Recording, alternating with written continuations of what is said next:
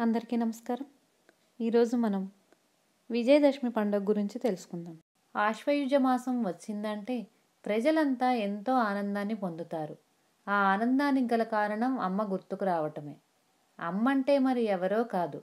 ఆ జగన్మాత ముగ్గురమ్మల తల్లి అమ్మలగన్న అమ్మ ఆ నవదుర్గా స్వరూపిణి.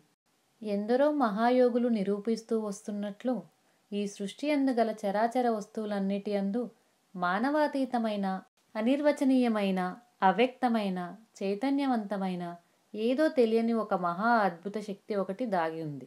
ఈ సృష్టి అందుగల జ్యోతిర్మండలాలు గాలి నిప్పు నీరు భూమి ఇవన్నీ మానవ నిర్మితాలు మాత్రం కావు అన్నది రూఢిగా అందరూ ఆమోదించే విషయమే.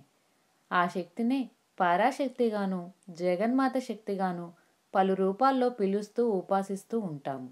ఈ నవరాత్రుల పుణ్యదినాల్లో ఏ నోట విన్నా ఈ దుర్గా సప్తశతి శ్లోకం వింటూ ఉంటాము.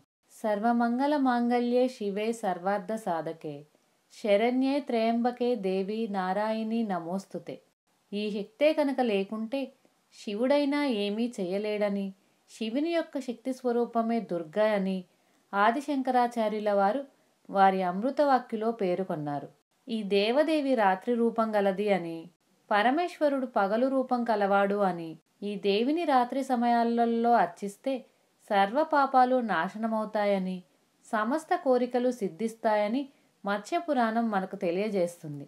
దేవతలు బాండాసురుడు అనే రాక్షస బారి నుండి రక్షించుకొనుటకు ఆ ఆదిపరాశక్తి తప్ప వేరే మార్గం లేదని తలచి ఆ మహాశక్తి కోసం ఒక మహాయజ్ఞాన్ని నిర్వహించి ఆ యజ్ఞగుండమందు వారి వారి శరీర భాగాలను ఖండించుకొని ఆహుతి చేయగా ఆ జగన్మాత సంతసించి కోటి సూర్యకాంతులతో ప్రత్యక్షమై వారికి అభయమిచ్చి బాండాసురుణ్ణి సంహరించి వారి అభీష్టం నెరవేర్చింది.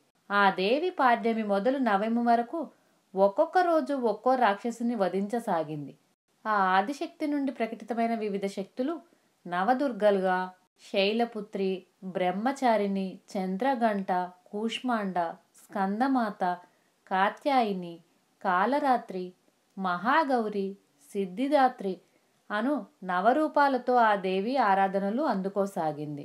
తొలుత ఈ దేవదేవి శ్రీకృష్ణ పరమాత్మ చేత గోకులం బృందావనంలో పూజలు అందుకుంటూ ఉంది. బ్రహ్మ కైటబుల బారు నుండి రక్షణకై ఈమెను స్తుతించే విముక్తి పొందినాడు.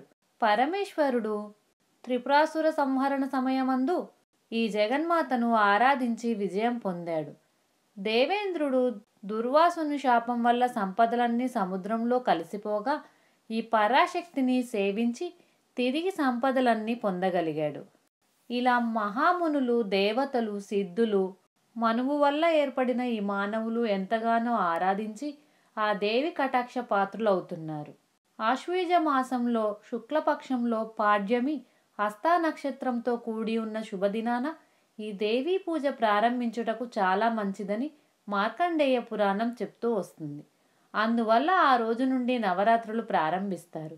అందు మొదటి మూడు రోజులు దుర్గా రూపాన్ని ఆరాధించి అక్షద్వర్గాలను తదుపరి మూడు రోజులు లక్ష్మీ రూపాన్ని ఆరాధించి సిరి సంపదలను చివరి మూడు రోజులలో సరస్వతీ రూపాన్ని ఆరాధనతో జ్ఞానాన్ని పొందాలి అని పెద్దలు చెప్తారు. ఈ నవరాత్రి ఉత్సవాల్లో దేవి నవాంశల పూజలు నిర్వహిస్తూ ఉంటారు. రెండు సంవత్సరాల బాలిక నుండి పది సంవత్సరాల బాలిక వరకు అనేక రూపాల్లో వారిని షోడోపచారాలతో పూజిస్తారు. ఈ కుమారి పూజలో ఔచితాన్ని ఎరిగిన అగస్తుని భార్య లోపాముద్ర ఈ పూజను చేసిందట. ఈ దేవి యొక్క అష్టాదశ శక్తిపీఠాలు దేశమంతటా ఉన్నాయి. ఇందు దసరా ఉత్సవాలు అత్యంత వైభవంగా నిర్వహిస్తూ ఉంటారు. ఇక దేవీ ఉపాసకులైతే ఈ నవరాత్రులు అంటే ఎంతో ప్రీతికరమైనవిగా భావిస్తూ ఉంటారు. దేవీ నవరాత్రి ఉత్సవాలు దేశమంతటా భిన్న భిన్న పద్ధతుల్లో జరుగుతాయి. తొమ్మిది రోజులు దేవిని పూజిస్తారు. అందువల్ల ఇది దేవీ నవరాత్రులుగా వ్యవహారంలోకి వచ్చింది. అలాగే శరదృతువులో జరుపుకుంటారు గనుక శరన్నవరాత్రులని కూడా అంటారు. ఈ పండుగలలో రామభక్తి భావం ఉత్కంఠతరంగా దేశాన్నంతటినీ ముంచెత్తుతుంది.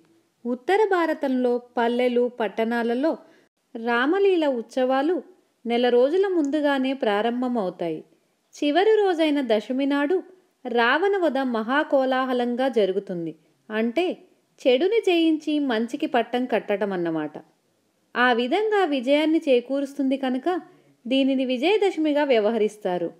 అదీ కాక జ్యోతిష్య శాస్త్ర ప్రకారం కూడా ఈ దశమిని విజయయాత్రకు అంటే సాఫల్యతకు ముహూర్తంగా నిర్ణయిస్తారు. కొన్ని ప్రాంతాలలో విజయదశమి అపరాజితా దశమి అని కూడా వ్యవహరిస్తారు. కారణం ఈ రోజున ప్రారంభించిన పనులు ఎప్పుడూ విజయవంతం కావటమే. లౌకికమైన పూజలతో ఈ విజయదశమికి శాస్త్రీయ విధి కూడా ఉంది. ఈ రోజున క్షమివృక్ష పూజ చేస్తాం. అజ్ఞాతవాసారంభంలో అర్జుని గాంధీవంతో పాటు పాండవుల ఆయుధాలన్నీ ఈ శమివృక్షంలోనే దాచుటయే అందుకు కారణం. రామచంద్రుడు కూడా తాను విజయయాత్రకు బయలుదేరే ముందు శమివృక్ష పూజ చేశాడు అని పురాణాలు చెప్తున్నాయి. శమి శమయతే పాపం శమిలోహత కంటక దారినర్జున బాణానం రామస్య ప్రియవాదిని కరిష్యమాన యత్రాయాం యథాకాలం సుఖం మమ తత్ర నిర్విఘ్నకర్తృత్వం భవ్యశ్రీ రాజపూజితే. ఈ మంత్రాన్ని జపిస్తూ శమి పూజ చేస్తాం. ఆనాడు జమ్మి ఆకును బంగారంలా భావించి ఒకరికొకరు శుభాకాంక్షలు చెప్పుకుంటూ ఇచ్చుకుంటారు. ఆశ్వయుజ మాసంలో శుక్లపక్ష దశమి తిది రోజున సంధ్యా సమయంలో నక్షత్రాలు ఆకాశంలో కనబడినప్పుడు సరిగ్గా ఆ సమయంలో విజయ అనే ముహూర్తం ప్రారంభమవుతుందని జ్యోతిష్యులు చెప్తారు. ఈ ముహూర్తంలో మొదలుపెట్టిన ప్రతి పని విజయవంతం అవుతుంది. మూలా నక్షత్రం సప్తమి నాడు సరస్వతీ పూజ అష్టమి నాడు దుర్గాదేవి పూజ నవమి నాడు ఆయుధ పూజ దశమి నాడు విజయదశమి జరుపుకుంటూ శమి పూజ చేస్తారు. తెలంగాణ ప్రాంతమందు శమి పూజ అనంతరం పాలపిట్టను చూసే ఆచారం కూడా ఉన్నది. విజయదశమిని దసరా అని కూడా అంటారు. దసరా అంటే దస్ మరియు హర అని. అంటే శ్రీరామచంద్రమూర్తి సీతా అపహరణ గావించిన రావణాసురుని పది తలలు నరికి సంహరించిన సందర్భంగా జరుపుకునే విజయోత్సాహంగా కూడా దీనిని వ్యవహరిస్తూ ఉంటారు. సరిగ్గా వానిని ఆశ్వయుజమాసం నవమి తిథి నాడు సంహరించాడు. అందువల్ల దీనిని దసరా వైభవంగా దశమి నాడు జరుపుతూ ఉంటారు. దసరాకు మరో పేరు దశహర అంటే పది పాపాలను అరించేది అని అర్థం కూడా చెప్తారు దైవజ్ఞులు.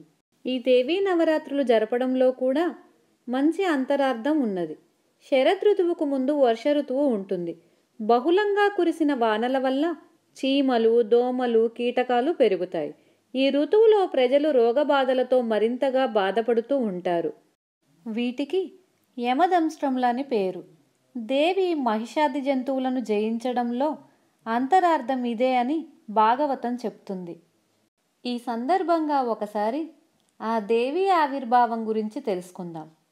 పూర్వం మధుకైటబులనే రాక్షసులను వధించటానికి బ్రహ్మదేవుని కోరికపై మహామాయ విష్ణువుని నిద్రలేపింది యోగ నిద్ర నుంచి మేల్కొన్న విష్ణువు మధుకైటబులతో పదివేల సంవత్సరాలు పోరాడినా వారిని జయించలేకపోతాడు. ఆ పరిస్థితిని గమనిస్తున్న మహామాయ ఆ మధుకైటబులను మోహపూరితుల్ని చేస్తుంది. దానితో వారు అంతకాలంగా తమతో పోరాడినందుకు శ్రీ మహావిష్ణువుని మెచ్చుకొని నీకు ఏ వరం కావాలి అని ప్రశ్నిస్తారు. దానితో శ్రీహరి వారి మరణాన్ని వరంగా ఇయ్యమని కోరుకుంటాడు. దానితో వారు తమకు ఇక మరణం తప్పదని నిశ్చయించుకొని తమను నీరు లేని చోట చంపమని కోరుతారు. అంతట శ్రీహరి వారిని పైకెత్తి భూ అంతరాలంలో సంహరించు సమయాన మహామాయ పది తలలతో పది కాళ్ళతో నల్లని రూపుతో మహాకాళిగా ఆవిర్భవించి శ్రీ మహావిష్ణువునకు సహాయపడుతుంది. అనంతరం సింహవాహినిగా మహిషాసురుని మహామాయ మహాసరస్వతి రూపిణిగా శుంభనిశుంభులను వధించింది. చండముండలను సంహరించి చాముండి అని పేరు తెచ్చుకుంది. కంస సంహారంనకు సహాయపడుటకై నంద అను పేరుతో నందుని ఇంట ఆవిర్భవించి శ్రీకృష్ణునికి సహాయపడింది. తరువాత ఐదో అవతారంతో ఒక రాక్షస సంహార సమయంలో ఆమె దంతాలు రక్తసిక్తమవడం వల్ల రక్తదంతి అయింది. లోకాలు అన్నీ కరువు కాటకాలతో ప్రజలు పడుతున్న బాధలను చూడలేక శాకాంబరిగా వారికి శాకాలు ఫలాలను ఇచ్చి ఆ తల్లి బిడ్డలను అక్కుల చేర్చుకుంది.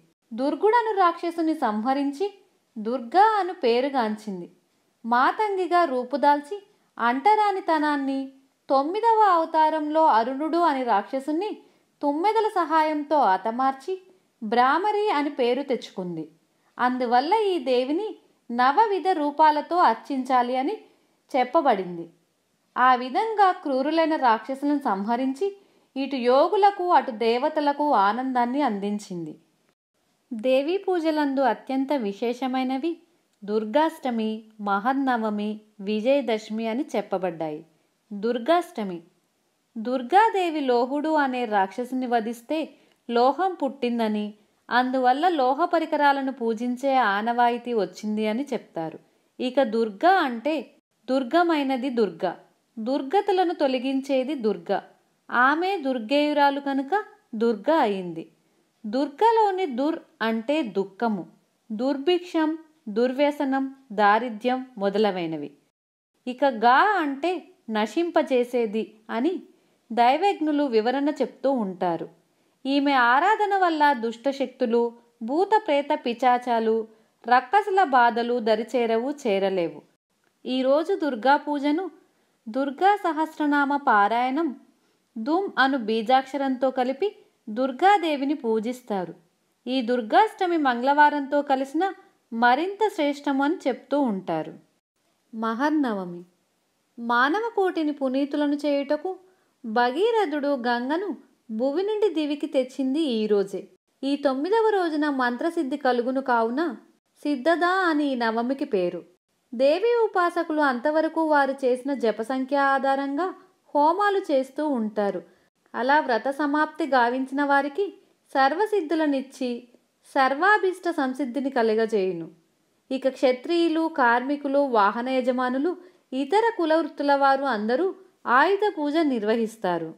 దేవదానములు పాలసంద్రమును మదించినప్పుడు అమృతం జనించిన శుభముహూర్త దినం ఈ విజయదశమి రోజే అని తెలియజేయబడింది. శ్రవణ నక్షత్రంతో కలిసిన ఆశ్వయుజ దశమికి విజయ అనే సంకేతం ఉన్నది. అందుకే దీనికి విజయదశమి అని పేరు వచ్చింది. ఏ పనినైనా తిథి వారం వర్జ్యం తారాబలం గ్రహబలం ముహూర్తం మొన్నగి విచారించకుండా విజయదశమి నాడు చేపట్టిన ఏ కార్యమైనా విజయం తథ్యమని పురాణాలు చెప్తూ ఉన్నాయి.